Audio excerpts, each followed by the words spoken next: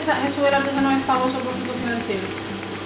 Porque el punto le dio, simplemente. Él acondicionó su forma, su pensamiento de lo que era un tocino al cielo, eh, el tacto al paladar, claro, y él lo que intentó fue mejorar esa receta que había. Entonces él la mejoró y la adaptó a su trabajo y a su volador.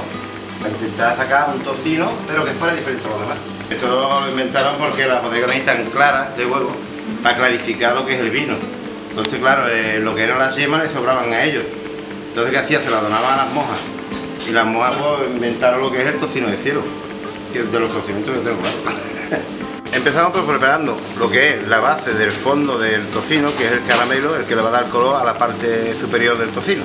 Preparamos lo que es la yema, la yema para el embutido. Preparamos lo que es el almíbar, que es azúcar con agua, y darle un punto de hervor. Después lo que hacemos es mezclar la yema con el almíbar. Y ya pues pasaríamos a lo que es el rellenar el molde de tocino.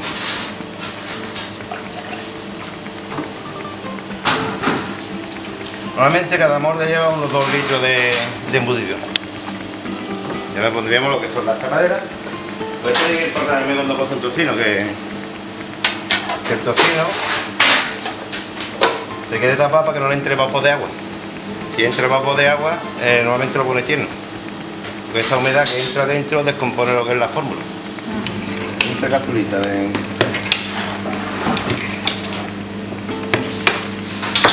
Siempre la parte de esta de aquí se, moja con un poquito de almíbar para que cuando lo huerque no se quede pegado el tocino.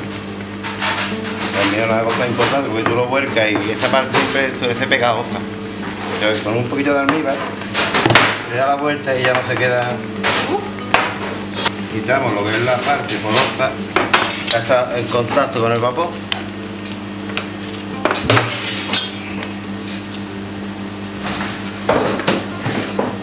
Para que se quede totalmente limpio